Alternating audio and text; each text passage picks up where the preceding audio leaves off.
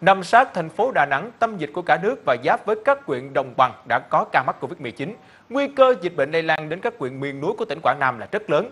Để ngăn chặn nguy cơ này, những ngày qua, các tuyến đường quyết mạch nối đồng bằng với miền núi đã được kiểm soát một cách chặt chẽ. Sau khi dịch Covid-19 bùng phát tại Đà Nẵng và Quảng Nam, huyện miền núi Nam Giang đã truy nguồn dịch tễ và xác định có 31 trường hợp có tiếp xúc trực tiếp với người mắc bệnh. Những trường hợp F1 đều được đưa đi cách ly tập trung.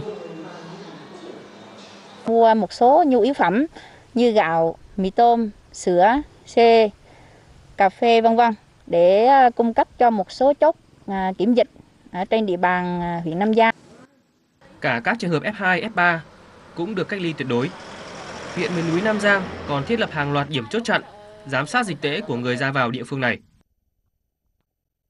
Công an thì đã được phối hợp với các lực lượng À, dân quân tự vệ của địa phương à, tiến hành à, lập chốt chốt chặn tại điểm thôn Đồng Trâm vì đây là một trong những cái điểm địa phương có nhiều đường tiểu ngạch. Đến nay, 9 huyện miền núi Quảng Nam vẫn chưa ghi nhận ca mắc COVID-19 nào. Các điểm chốt chặn vẫn sẽ thực hiện nghiêm việc kiểm soát trên các tuyến đường nối với đồng bằng. Đồng thời, 150 km đường biên giới với tỉnh Sê Công của Lào cũng sẽ không để xảy ra tình trạng nhập cảnh trái phép.